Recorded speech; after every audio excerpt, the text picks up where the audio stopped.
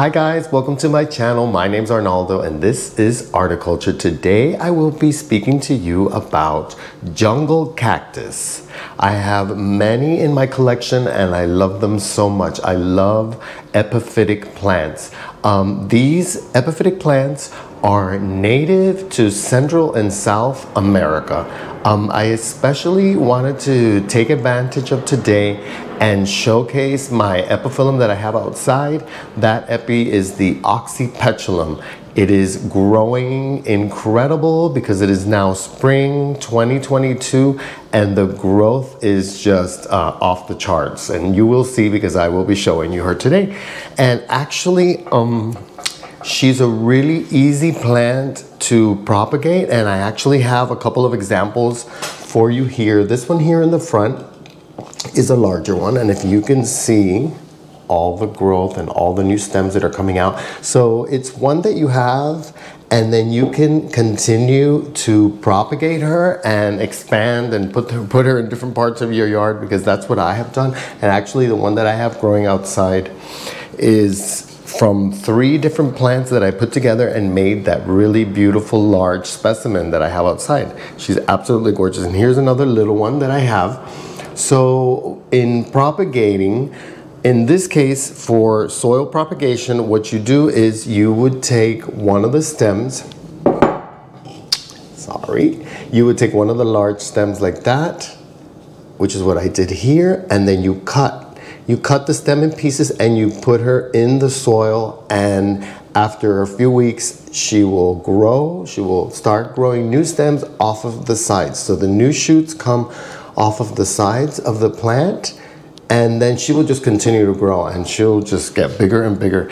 And they grow super fast and super easy and really easy to propagate. Just put it in moist soil and don't water too often. So just remember that when you cut the stem, remember to the part that faces down, the part that's going downward into the plant, just cut and make sure that you cut and put them downward again because if you were to flip it, it wouldn't grow and it would die. So it would like start rotting on you. So yeah, super easy to propagate, such an amazing plant. And um, the blooms are really beautiful as well. They're white and she is a night blooming plant. So it's nocturnal blooming. She blooms at night, but uh, the, and the blooms only last for about a day. But in the morning, you can come out in the morning and be able to really appreciate how beautiful the blooms actually are. They're really delicate, uh, white, and um, actually, I have, speaking of white, white flowers, I have these um, Narcissus paper whites that just grow wild.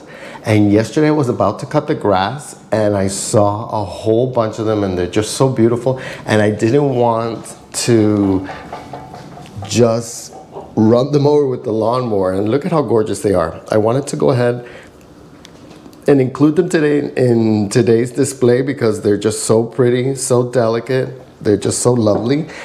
And yeah, I wanted to at least be able to enjoy them and not lose them in cutting the grass. So yeah. Um, so I have some other examples for you today of my epiphyllums. Um, this beauty right here is the Epiphyllum elliptica. And um, also the same thing, they grow really easily, but I wanted to show you guys how cool the stems are and how they grow out. What's really interesting about the Rhipsalis, and that happens to most of them, is that they have these stems that grow up and they're tall and then they start branching out and continue to branch out and then eventually start draping over and cascading and creating just such a beautiful plant. And because it continues to grow, you kind of keep getting that effect and it just gets more and more and more beautiful. So also I wanted to go ahead and include my, my Schlumbergera, which is the little Christmas cactus that I have here. And unfortunately, at the moment, she's not in bloom, but this one blooms also a lot, and there are these gorgeous white flowers. She does have a lot of new growth coming in. There's a lot of new growth coming in, but also a really pretty plant. Eventually, she will also kind of cascade, but this one also grows more, more in like a bushy, more of a bushy effect. And then this one right here is the curly orchid cactus, which is just so cool and the way that it curls and the stems are like really firm so they stay they stay upright like that and some curl downwards. It's just such a pretty plant. Um, the same thing, it's really easy care. Um, they don't require a lot of water because the way that they grow, being epiphytic, they don't really require a lot of water, but they're succulents and they uh, retain the water. So um, only when the soil is dry, only when they really need need it is when you should water them. So then here I have this, which I'm pretty sure is a Rhipsalis, but it is one that I wanted to include, but I actually don't know what the name is, but I find her to be just so beautiful. She actually looks a little more like a cactus because she has these little areoles and they have these little, but they're really soft these little um, little prickly things. Um, she's so pretty. Uh, if anybody knows, please uh, let me know in the comments. And um, I actually have another Rhipsalis, which I'm not sure what she is. And I don't know if this ever happens to you guys, but sometimes I go plant shopping and I see them. Look how pretty she is. And in the same thing, she shoots out these stems that eventually start draping down and then look, she fills in through the top and through the bottom, just like so beautiful. Yeah, so sometimes I go shopping, plant shopping, and I'll see a plant and I'll fall in love with it, but they don't have a tag on it and they don't know the names, but uh, I still have to get it. So again, that's another one that if somebody knows, uh, I'd appreciate knowing the name, and if you could leave it in the comments, I would really appreciate it. So guys, I wanted to go ahead and get the flowers in the morning for you so you could see. So remember she is night blooming and the flowers look even prettier at night. But of course they're hard to film. But she did have a few blooms last night and it's early morning so you can still appreciate them. So beautiful. So look at the coloration here. Look at this mix. Look at this reddish purple stems that are growing in here. Completely a different color, so pretty.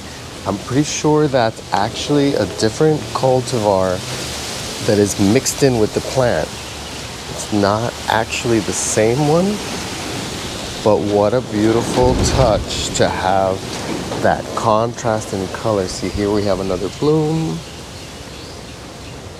And then the blooms from the back. There's another one here coming. Another one growing right here. It actually blooms a lot. So like every few days there'll be more blooms. It's springtime, so of course this is the season when she blooms a lot. But I actually get blooms throughout the year because of the weather and the conditions that I live in, living here in Florida.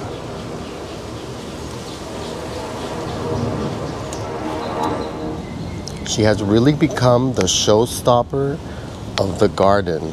She is so beautiful. I want to show you the incredible amount of growth. If you look at the stems, look how she's growing. She's growing really, really, really fast. I never thought she would grow this fast and this much and this beautiful, is incredible with these Look at how the branches are just coming out of the branches and the size of them. Look at the size of this one. They're just so big and it's coming out from the stem there. And look at how many. Look Look at in the back. And they're coming from the bottom. How big they are. Look at the size of these. They're so beautiful. I'm so happy with her. I'm so proud to have her. She's just incredible. What an amazing specimen.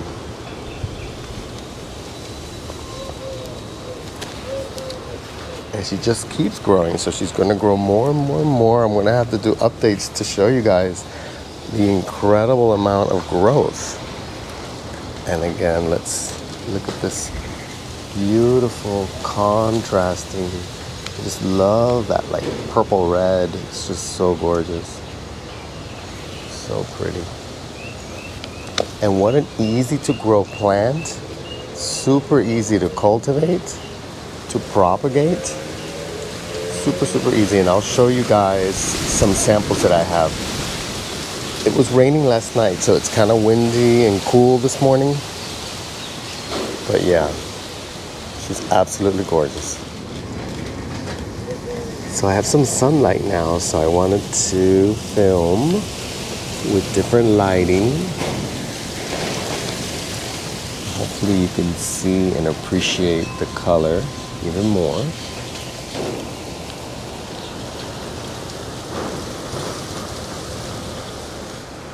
Okay guys, so over here I have the beautiful Rhipsalis paradoxa growing all the way from the top and I've been growing her for a few years. She's absolutely gorgeous. Let me just show you here if I can pull some of it out. I mean, look at that. She's incredible. She's, I don't know, six feet, six and a half feet long and growing constantly. It's really windy today. All the new growth you can see here. All the new growth right here. So pretty. I love Rhipsalis.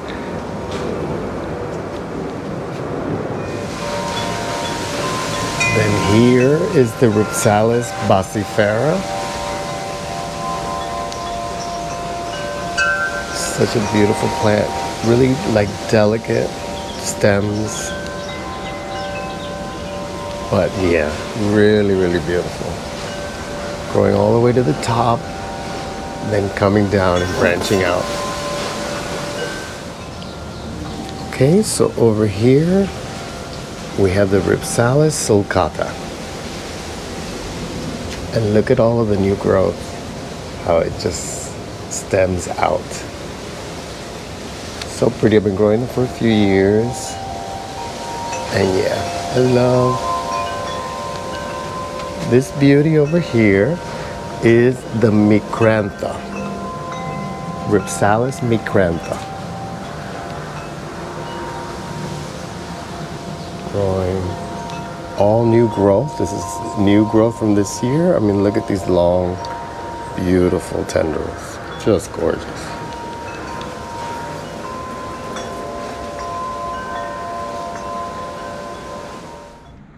So guys, epiphytic plants, epiphytic cacti make great houseplants.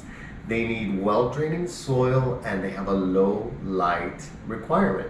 So they also come in a large variety of bloom colors, so not just like the white ones that I have. I hope you are inspired to adding some to your collection. I definitely will be adding more to mine. Um, I hope you enjoyed today's video. Please like, comment, and subscribe. Thanks for watching, and I'll see you in my next episode.